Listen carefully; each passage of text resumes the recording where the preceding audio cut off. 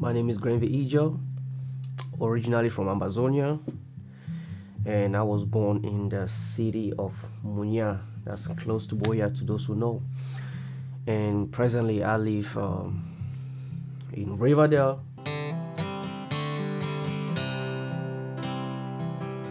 I've always wanted to be an actor, though, right from back home, and some people say you're funny, and I've, I was in a bit of short place in Yaoundé.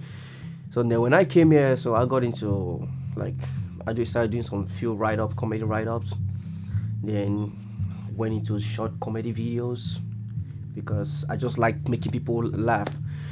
And because of the crisis going on in Ambazonia right now, so and I happen to be in a group with a movie producer and movie director, Dexter Brains.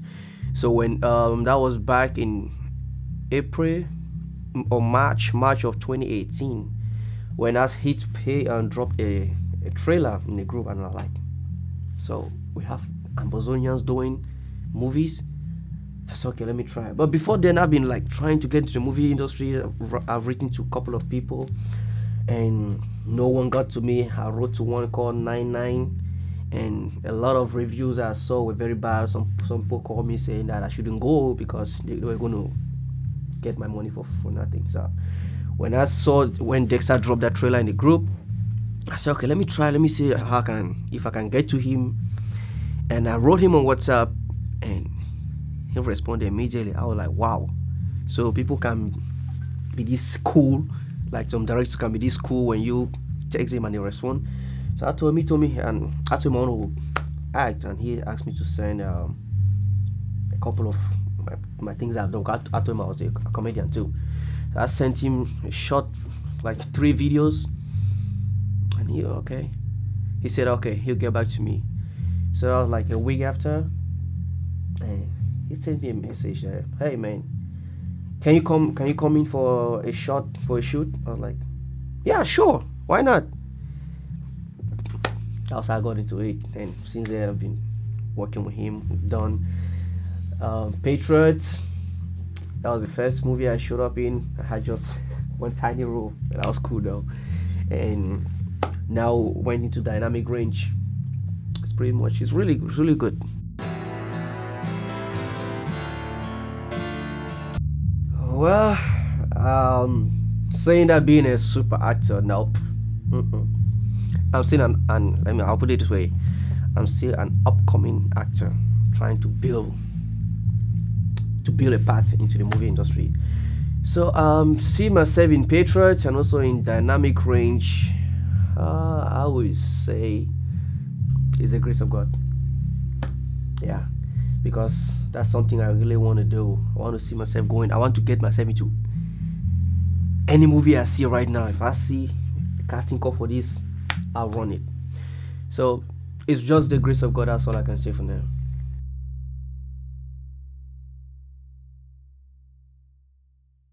Mm, anything new difference? Well, let's say from Patriot. Um, from Patriots to Dynamic Range, there's a lot of upgrade camera wise acting wise like the cast. So they're somehow kind of professionals now. We have professionals too in dynamic range of which we did not have in Patriots. Don't get me wrong we had good actors in Patriots but there is an upgrade co compared to what we have in dynamic range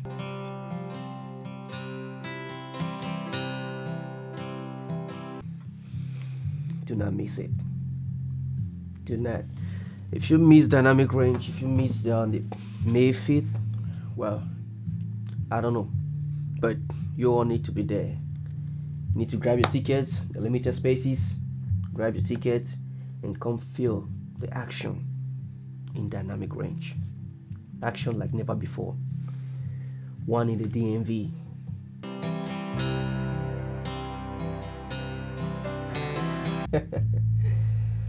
ah, the bad guy.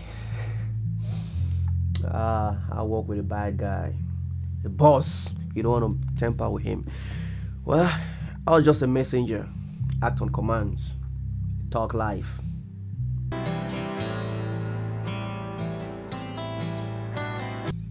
Well, you cannot you cannot match it because that's that's those are two different things, two different personalities. On set, you're trying to like you're acting a character which you're not.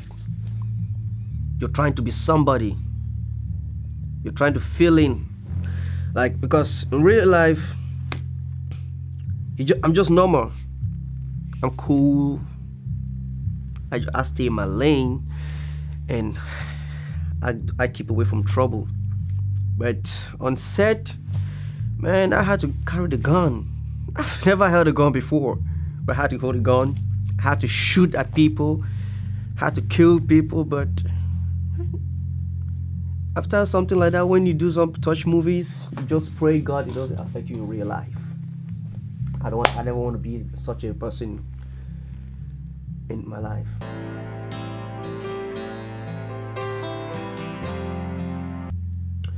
Push, push, push. Go for what you need. If you really want to be in a movie, you want to be in the entertainment industry, the little opportunity you have, you should go for it. And um, if you get a chance to go into be on a movie and um, they give you just like a single role where you have to say just a word or where you just have to appear on the screen just for one scene without saying nothing man take it don't say oh i want to be in a role that they will see me all the time i have a lot of things to do. That's not how we all start. Yeah people who started like that. But if you have something little take it. That's how it started.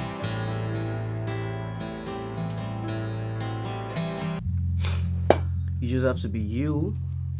And most of the times even if you know you're not professional in doing something but if you have to act another character you need to do it so good do it so well that people will see it and applaud saying oh this guy is awesome.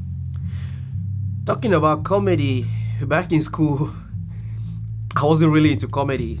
Most of my time i'll play around play soccer and just music. And my friends one of my, my classmate that was like last month he called me he's now in um, he, he's in europe. I don't know what country precisely. He called me like man how come you're now into comedy but meanwhile back in school we were the ones doing the comedy and you were just quiet doing your own thing? I said man you never know. There are some things that just that in you but you don't want to show it out because it's not the right time.